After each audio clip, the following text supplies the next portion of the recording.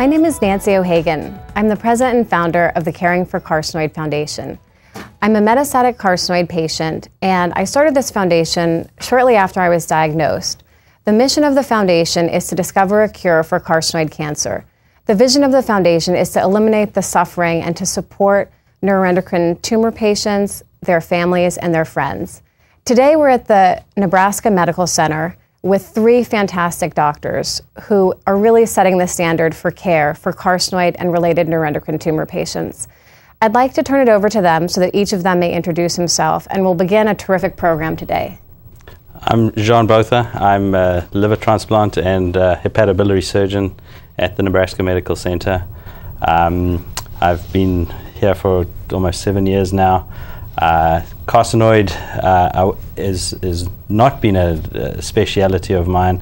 Um, I wouldn't call myself a carcinoid expert. Uh, what I would call myself, however, is an expert liver surgeon, and I've been fortunate enough now to uh, deal with a number of patients with uh, neuroendocrine and carcinoid tumors, and uh, have been very satisfied with the results that we've obtained in operating and treating these patients. I'm Greg Fitzke. I'm a general surgeon from the Lincoln community. I'm a community surgeon without an academic background. I'm not a carcinoid uh, expert or specialist per se, uh, but we have, uh, through this collaborative effort, worked on several patients with carcinoid, uh, and that's what brings us here today.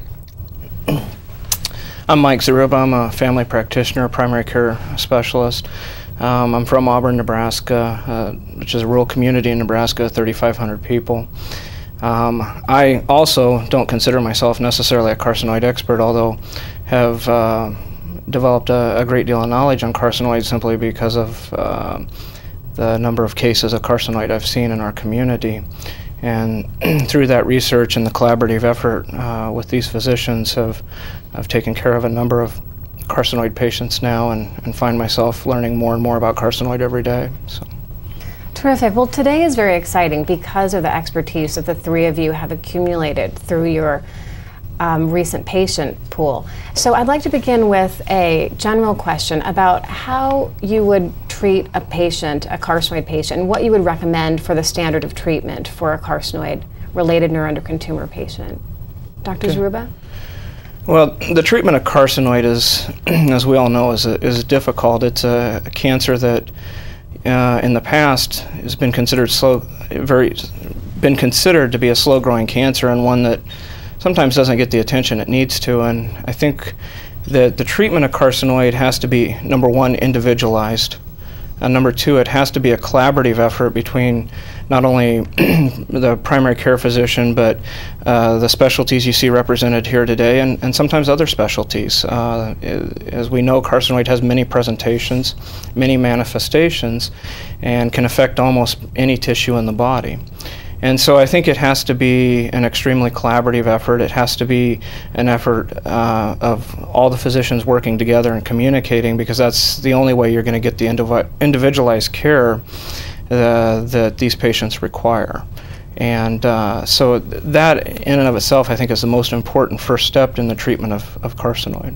Terrific. And so let's talk amongst ourselves a little bit more about this issue of collaboration because I think it's such an important one. And it's a lesson that we've really learned here with the three of you that I've learned a lot by speaking with you um, just so far. Can we speak a little bit more about that? Um, what would you, Dr. Botha, what have you learned about collaboration with Dr. Fitzke and Dr. Zaruba?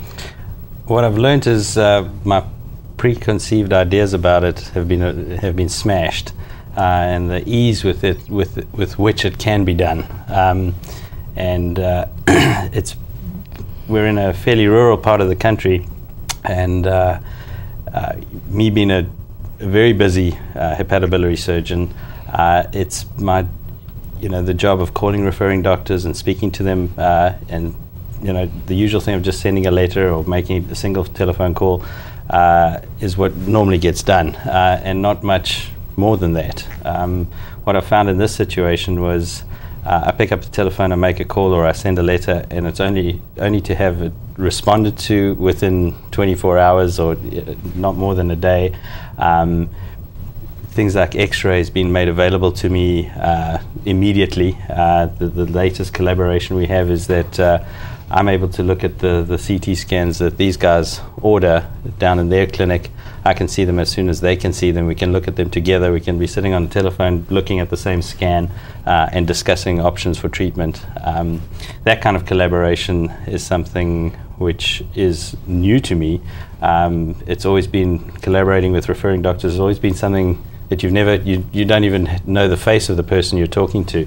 In this situation, I mean, I know exactly the guys I'm talking to and dealing with, um, and it's been made easy for me, who's a, a busy uh, surgeon. It's been made very easy for me uh, to be able to. I know that when I call down there, I know that I'm going to speak to the guy that I want to speak to, and so they've done it more than I have uh, in terms of you know being able to take care of these patients, make decisions, come up with plans, uh, you know that the patient's not waiting another week to come and see me. Sort of, uh, they they've left a message. I've said, oh well, make an appointment to come see the patient. The patient doesn't end up waiting. They can have an instantaneous answer because of the way that we've been able to communicate with each other. So I've been extremely impressed uh, with with what's been made available to me and the responses that I've received. So oh, I can't take a lot of credit for it. I think it's uh, it's, it's very much been driven uh, from Auburn and uh, it's uh, it's I give nothing but good things to say about it.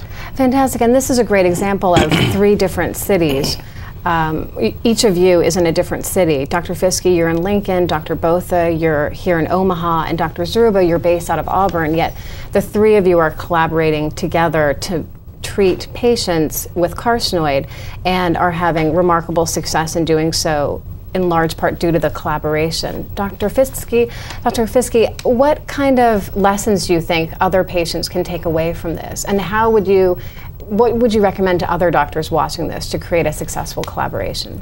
Um, I'm actually hoping that more doctors take something away from this than, than patients, quite honestly, from the standpoint of the collaborative effort, because that's exactly what it takes. It, it takes an effort on the physician's part to communicate in a manner that Dr. Both the Dr. Zaruba and I have. It's it's very easy to look at a post-it note on your desk saying a physician called and trying to push that off onto one of the individuals in your office to try to take care of it just so that you can move on to your next uh, scheduled item. Um, the standards of communication between physicians, um, I, I, think, requires some improvement.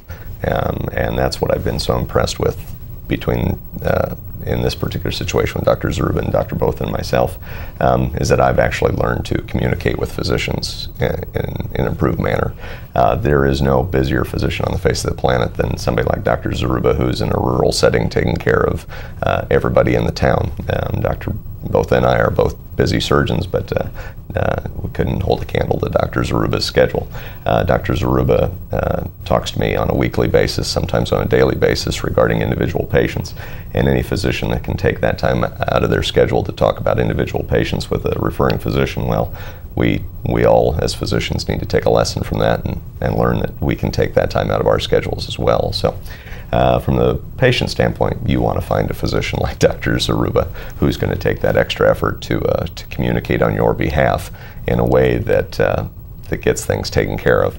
Um, first patient that Dr. Zaruba and I worked on who is here with us today, it would have been real easy for him to simply have called my office, made the referral. Uh, we would have had her in the office probably within a week or two as opposed to 24, 48 hours, and her surgery potentially could have been scheduled two to three weeks out as opposed to a few days.